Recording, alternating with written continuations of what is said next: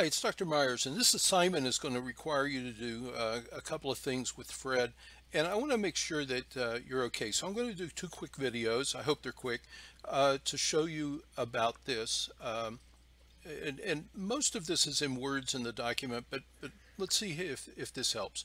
First off, I've reminded you before that you should have an account at Fred. Now, let's assume that you didn't do that and you don't have an account. So you need to go to my account and actually sign up. I'm signed in, so I can't show you exactly what that download looks like, but it is a free account. So you just have to give them your, you know, your email address or whatever is required, and you can create and save graphs. Notice I now have 110 graphs. So your account is where you can save things. And you may say, well, I'm only doing it for this assignment. I'm never going to do it again. But what if in the middle of the assignment, uh, something goes terribly wrong, you lose a couple of graphs and you have to redo it. So you're sitting there going, eh, no, I'll just take the zero or because I don't want to do all that work again. Well, if you save your graphs, you don't have to do the work again. Just go, go back and grab them out of the archive. And that's actually pretty easy. Let me just show you that part before we get into the meat of this. So here's my graphs. Uh, there took a little bit of time to come up but it tells you that it reminds you when you created it. I compared to 2001 and and 2007 nine recessions uh, eight years ago. It's still there uh, and I've got some categories and what have you. But let's go back to the uh, previous page. Nope, that didn't do it. I went back to the Fed's front page. There we go. This is the page you get when you type in fred.stlouisfed.org. Okay, so here, let's make a graph because that's what you have to do. And let's assume that you want to uh, graph uh, real GDP and M2, the money supply uh, for whatever reason. We're just doing this as an example. Uh, but of course, when we do this, you'll, you'll see how this shows up and how you can do anything that you want. And I'm doing two graphs on this screen precisely because uh, that, that adds more value because now visually I can compare one graph to the other. It is horrible to say I want to compare GDP and, M, and, and M2 and then give two separate graphs because our minds don't work that way. We can't visually put that together. I'd rather see a table if you're going to do that. But visually, if I want to compare these two, it's real easy. So it's going to require us to search the Fred data, or at least if you want these categories, these are trending search terms. So they're just simply things that people have looked at. And you can browse by other uh, categories. Like if, if you're a real geek like like me, you can you can um, browse by the release calendar or release date, which means what came out today. What was the latest stuff? Right. All right. So you can do that. But we said let's let's look at real GDP and M2. Now, as it turns out, if I hit one of these search terms, uh, I'm going to it's automatically going to put in that search bar that real GDP. I could have typed that in, but you can't type real GDP and M2 uh, one at a time. So the first thing that came up was the real gross domestic product. It's in chain 2012 dollars. It's quarterly. That's how it's released. That's that's correct. And it's seasonally adjusted. And you always want that um, because seasonality factors, uh, things like, well, there's more people looking for jobs in June than in May because the schools just got let out, right? So that always goes up. There's always an increase in unemployment in June but we take that out because we know in June it's just students coming in, not to denigrate the students. It's just doesn't give us a view of what the labor force is because that's just a seasonal fluctuation. Thing, same thing about uh, workers coming in at Christmas time and, and taking temporary jobs and what have you. So you, you like to see the words seasonally adjusted and then annualized rate and and an annual rate just simply says okay it's it's uh, every quarter that this is released it's not going to give me the quarterly GDP what happened in that quarter it's going to take what happened in that quarter and convert it as if that quarter was a full year So I like this one. This one is going to go in. And again, you don't necessarily have to do everything I just read you through, but I want you to see all the information about this data is there. So I'm going to click on it. And what happens is automatically, Fred will create that graph and it will create it for the maximum turn. Now, I don't really care going all the way back to 1947, but it might be useful to see it. I, I do notice a couple things. There's only two real downturns that I can see in the data.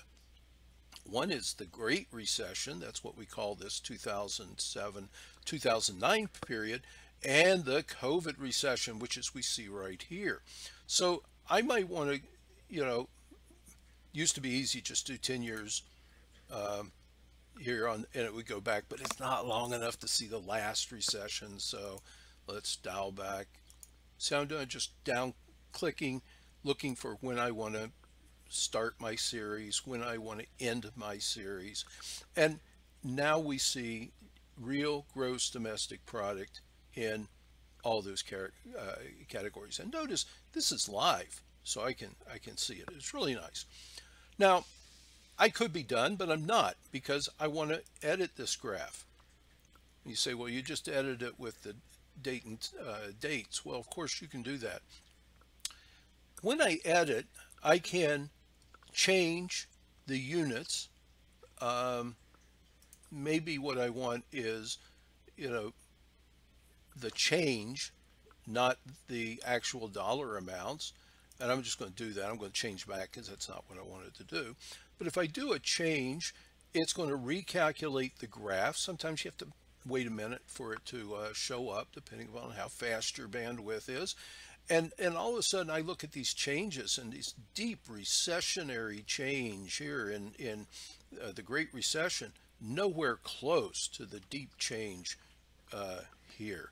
I, I could also look at that change in percent change uh, this would be quarter to quarter because it's quarterly data, or I could look at change from a year ago. Let's look at the quarter to quarter changes. And the graph pretty much looks the same, but the uh, index out here, the x-axis has turned into percentages. So GDP went down to 0.16% uh, in the fourth quarter of 2008, all right, just from the previous quarter. And in quarter two of 2020, it went down 8.9%. Now, I could do percent change um, in a compounded annualized rate. Again, graph is going to look the same. But when I go back down here, I'm going to see that GDP fell on an annualized rate of 31%. So here, here's what my message of all of that is, is simply to tell you that you can make this graph do pretty much what you want in terms of answer to kind of question. Just be explicit in your text what it is that you're doing because the title always says real gross domestic product and it doesn't necessarily give away any transformations you did. Now I want to add the money supply line. So I'm going to say add line. I'm going to go over here and I'm going to type M2 and the first one comes up, it's discontinued. Um, I don't really want a discontinued series. So I'm going to go down here and look at this one. And it's monthly data, not quarterly. That's okay. And it's seasonally adjusted. This looks like it might work. So I'm going to click on it and add data series.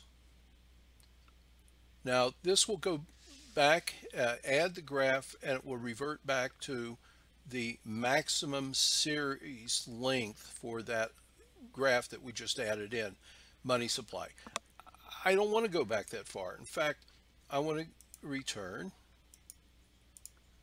to uh, 2000 and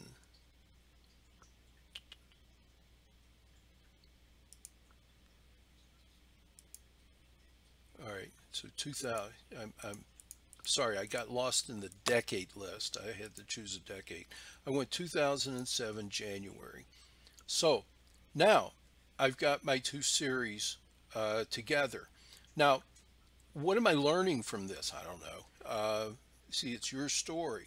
you're taking the data and interpreting what you see uh, in light of something else. But I've got two series here that's traveling pretty much parallel over time, and they should because MV equals PT. Remember that formula? Well, what is MV? Well, money supply. M2 is a okay measure of M in that formula. V is velocity, which we don't have, and PQ is our real GDP, or our, our, our actually GDP. So we are close to that formula, so there ought to be a relationship, but certainly something happened. Let's look at five years. And, and we can see that there's there definitely some changing going on here. Okay, let's stop trying to figure out what this graph is uh, and what it represents. But let me show you one other thing. Sometimes you're going to put a graph on that is um, uh, not in the same units. Notice that both of these have an axis of billions of chain 2020 dollars and billions of dollars, you know, for these two series in, in order. And, uh, and, and, and what I want to do is I want to go over here to format. I have, I can format line one, uh, something silly. I can change the color, right? So, I mean, if you insist, um, eh, pick a color green. So I can make it green. I can make the the line bigger. I, I can do things like this if it just kind of pleases me or makes my story better. Or maybe the story is real domestic product and I want to make that really heavy and I want to make the money supply which is sort of a a second one maybe I want to make that a dash line. All right so you know I can do things like that. But the point is maybe these axes are so different from each other that what I want to do is measure money supply on the right hand side axes and now I get a better a better picture. Anyway let's assume that's a better picture. Let's stop with that. Uh, it's already 12 minutes. Let's get this thing into my word document so we can begin to to work on it. So I'm going to close out this uh, formatting box over here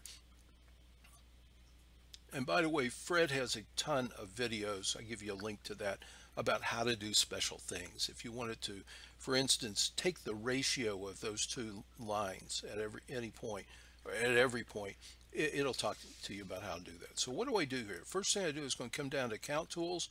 I'm going to save my graph. I'm going to give it a name. And in this case, I'm going to name it junk. And the reason I name it junk is that's just a habit I have when I create things for examples or whatever that I don't want to keep. So sometime in the future, I may see a junk in my uh, uh, list of, of saved graphs and go, I can delete that. I don't have to open it. I don't have to look at it. I can delete it. So it's just my, my own personal thing. Now, the second thing I want to do is I want to share the link. And I'm going to do share the link. I'm going to get the page short URL, nothing else. I don't want the image URL because the image URL is just going to show the picture. And that's not fun. And me as a teacher, I can't go in and look and see what you did. So page short URL, dialog box comes up. I'm going to leave that radio button where it is. I'm going to go over here, hit the button at the end, and I've copied it and it's in my clipboard. Okay what's my next step? My next step is to go into a Word document someplace here. Let me do a control enter some on a new page. All right, so I'll right click and paste it. So there's my URL and you'll see why that's so important to have in the next video. Thank you.